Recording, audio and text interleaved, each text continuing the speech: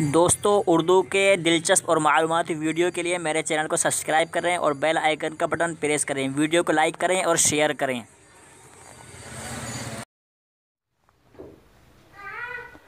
नाजरन काम असलकुम उम्मीद करता हूँ आप खैरियत से होंगे। नाजरीन इकराम, मैं अपने चैनल आसान उर्दू एस बी एल में आपका खैर मकदम करता हूँ।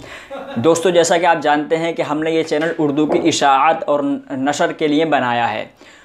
उर्दू एक ऐसी ज़बान है जो बहुत मीठी और नहायत शीरी ज़बान है।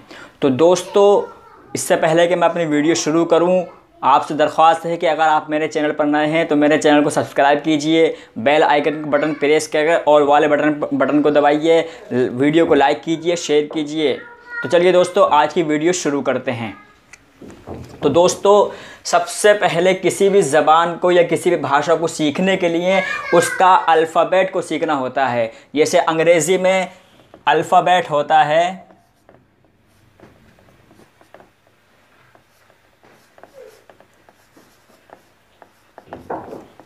A B C D. ठीक है दोस्तों, हिंदी में होता है। अ बड़ा आ, ई, बड़ी ई। इसी तरह दोस्तों, उर्दू के जो होता है, उसको हम बोलते हैं हरूफ मुफरदात। हरूफ मुफरदात, यानी कि अलग अलग हरूफ। इसमें क्या आता है? अलिफ, बा या बे, पे और ते।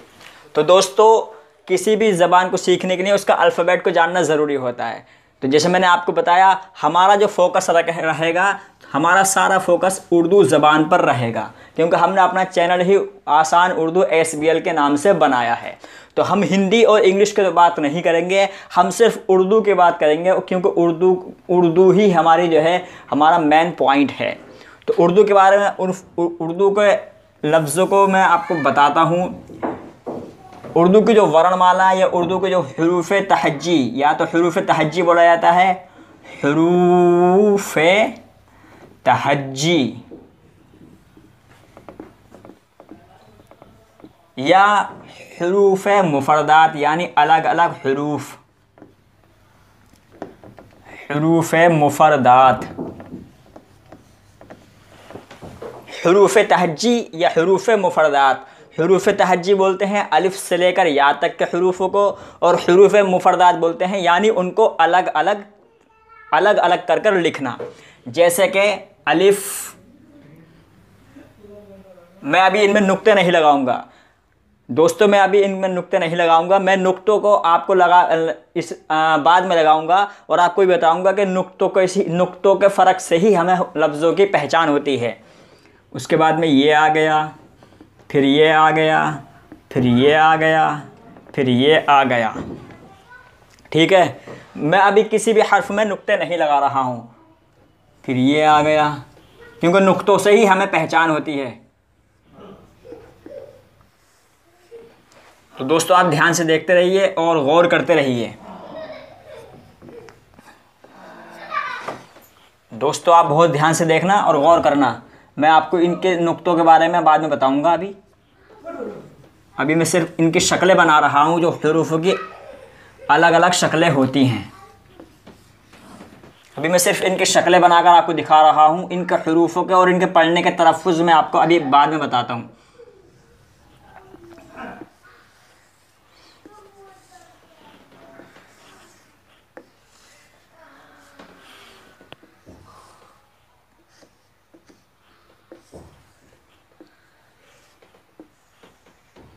तो आप देखते रहिए।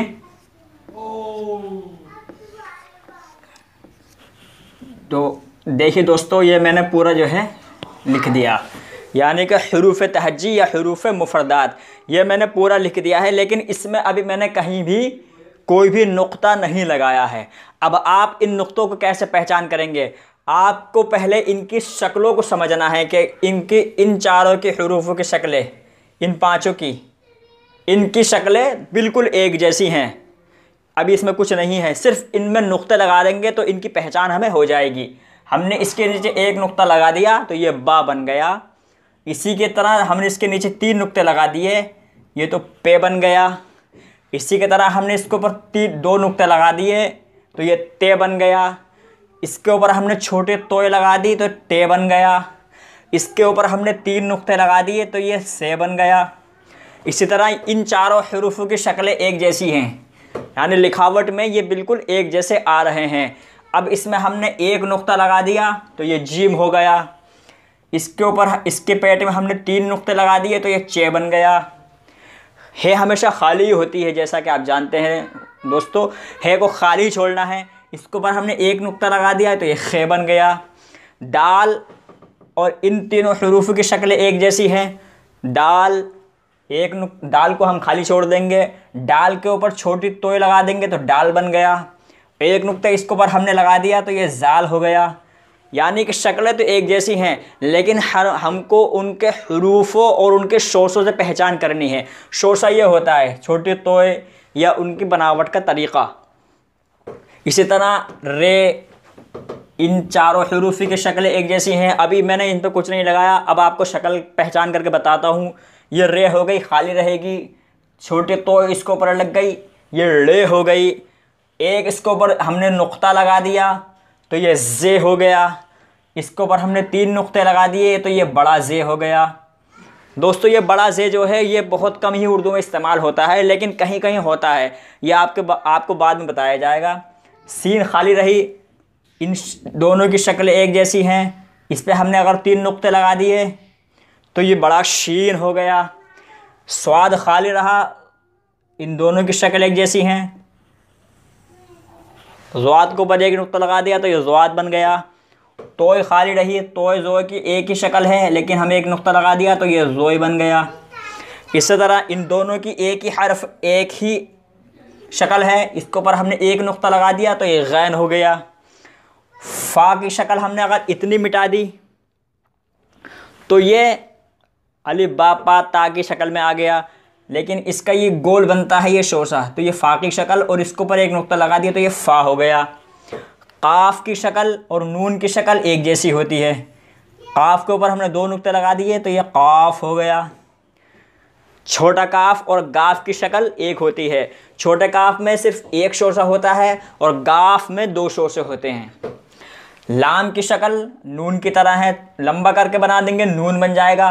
और नहीं तो लाम है। मीम की शक्ल अपनी अलग है। नून की शक्ल हो गोल है। इसके नीचे हमने एक नुक्ता लगा दिया तो ये नून है।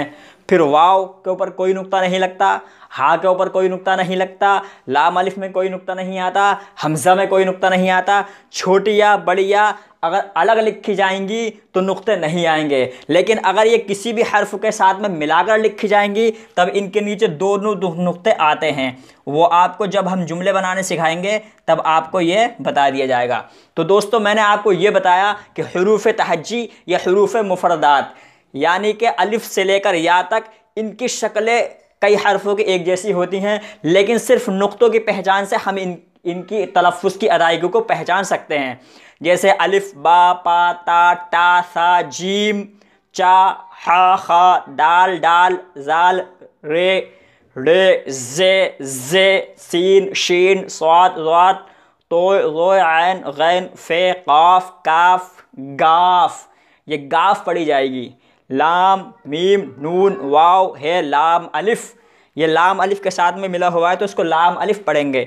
ये हमज़ा, ये छोटी है और ये बड़ी है तो दोस्तों, आपको अच्छी तरह समझ में आ गया होगा कि हरूफ तहजी यानी हरूफ मुफरदात और आसान इसको लफ्ज़ों में कहें तो उर्दू के उर्दू के वर्णमाला बोल लीजिए या उर्दू के अल्फ़ाबेट बोल लीजिए। तो दोस्तों, उम्मीद करता हूँ आपको इतना समझ में आ गया होगा। इंतज़ार करिए हमारे अगली वीडियो का। अगली वीडियो में आपको इनकी और शक्लें और इनकी तरफ़ की अदायगी बताई जाएगी। आपसे दरख्वास्त है, आप चैनल को सब्सक्राइब करें, वीडियो को शेयर करें, लाइक करें और बेल आइकन का बटन दबाकर और वाले बटन बटन पर दबाइए। तो दोस्तों, आज के लिए फ़िलहाल इतना ही। आपसे इजाज़त चाहूँगा। असलकम वरहमल वर्का